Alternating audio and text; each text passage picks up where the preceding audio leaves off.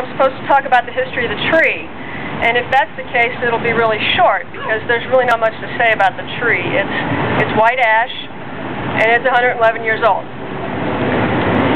It was uh, planted at a ceremony in 1895 that, believe me, is much smaller than what we're doing today. This is a much larger deal than it was back then. Really, the, the interesting question, and what I'm going to talk about, is why was the former President of the United States in Richmond, Indiana for an extended period of time? And the answer to that, he was, he was being a lawyer.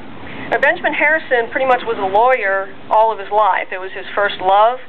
He was also a Civil War general, but prior to the war, he was a lawyer. As soon as the war was over, he went back to being a lawyer. He was a senator, and then in 1888, he became president. He was actually he was the president that served between Grover Cleveland's two non-consecutive terms. And then in uh, 1892, when he lost the election to Grover Cleveland, he went back to being a lawyer.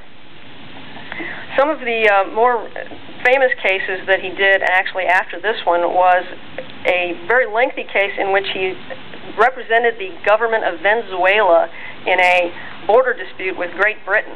So that was quite the uh, issue at the time. But when he was here in Richmond, he was trying the celebrated Morrisson Will case. Now, yes, I work at Morrisson Reeves Library, and there is a connection. And bear with me, I promise it will be short because it's complicated. Um, okay, James Morrisson was the son of the library's founder. He died in 1893. His daughter was still alive. His son was not. The son's children, so his grandchildren, lived in Chicago, and they felt that they had not been adequately represented in the will. And so they hired a high-powered lawyer, i.e. Benjamin Harrison, from Indianapolis, to represent them in this case. They brought suit. The uh, it was, as I say, high powered. Not only was Benjamin Harrison, he was the lead lawyer for the plaintiffs. They also had, there was another attorney from Indianapolis, but then also the local lawyers included uh, Richard Jackson, Henry Starr, Charles Burchenal, and John Roop, all of which were, who at the time were very prominent citizens. Uh, John Roop was the mayor at one point. Now, the lawyers for the defense were equally notable, starting with Henry Underwood Johnson, who at the time was a U.S. congressman from this district. Also was uh, Judge John F. Kibbe, uh, Wayne County, I believe, circuit judge. Uh, judge Henry Fox, who most people might remember as the editor of the 1912 county history, and also Thomas Studi and John Robbins. So you've got a real high-powered team of lawyers on both sides. So this really was a huge, huge case. The thing was, I, I basically kind of liken it to the O.J. Simpson case uh, in on a smaller scale. The newspapers covered the the details, and I mean details. I mean sometimes verbatim testimony daily. Most days, people were turned away from the courthouse because they, they wanted to be spectators and there just wasn't enough room for them the trial itself really was not terribly exciting because the um, the plaintiffs, the grandchildren, were claiming that James Morrisson was of unsound mind and was unduly influenced when he made his last will. And so to prove that, they pretty much had a whole slew of people, and, and the questions ran something like, well, the last time you saw him, was he like himself? So, you know, it was, and I've not gone through it, believe me, at all. Uh-huh. But what I've scanned is, is really pretty dry. The thing was, this trial went on for four solid months. At the time, it was the longest court, the longest jury trial in American history to that time. But it was definitely high entertainment for Richmond citizens. Um, as I said, people followed it daily in the paper.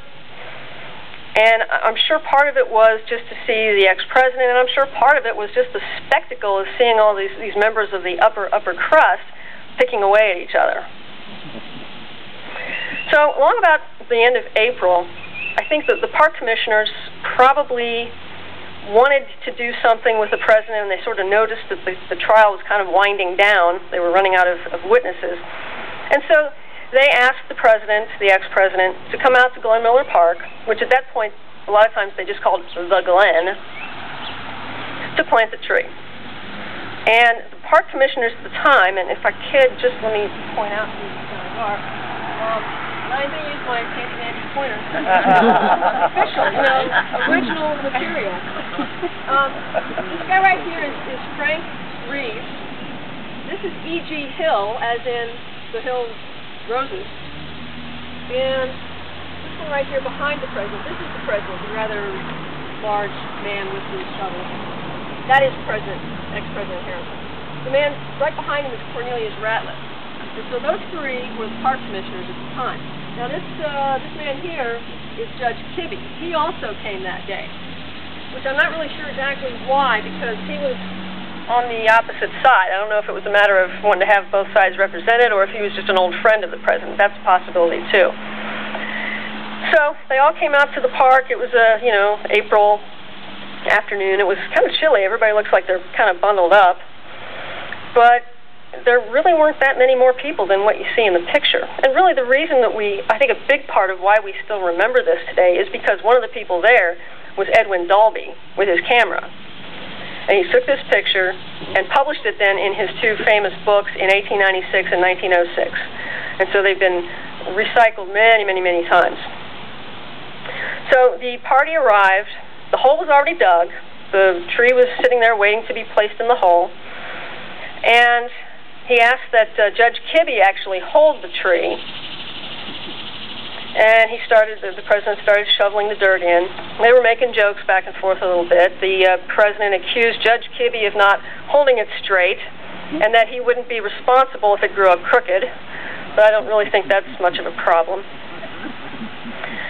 Uh, when he had all the uh, the hole, the, the dirt back into the hole, Mr. Hill presented him with a bunch of carnations, which is that actually Judge Kibbe is holding them right now in, in the picture there. And I really, I don't know why they would be carnations and not roses, but that's what the paper said, carnations.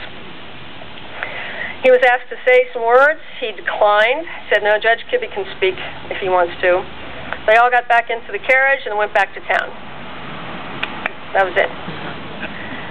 So, but as we see, the tree is still here. It has flourished may need a little trimming right now, but they all went back to, to town. They resumed the trial.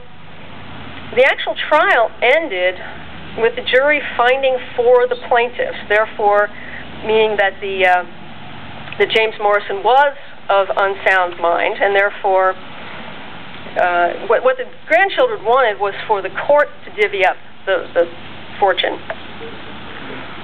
But the defendants then said, well, if he was of unsound mind to create a new will, then he was of unsound mind to break the old will. So they claimed that the old will was still in effect, which really didn't help the grandchildren too much. So basically they had to start all over again. And finally somebody came to their senses and they all sat down at a table and hashed it out among themselves. And that was it.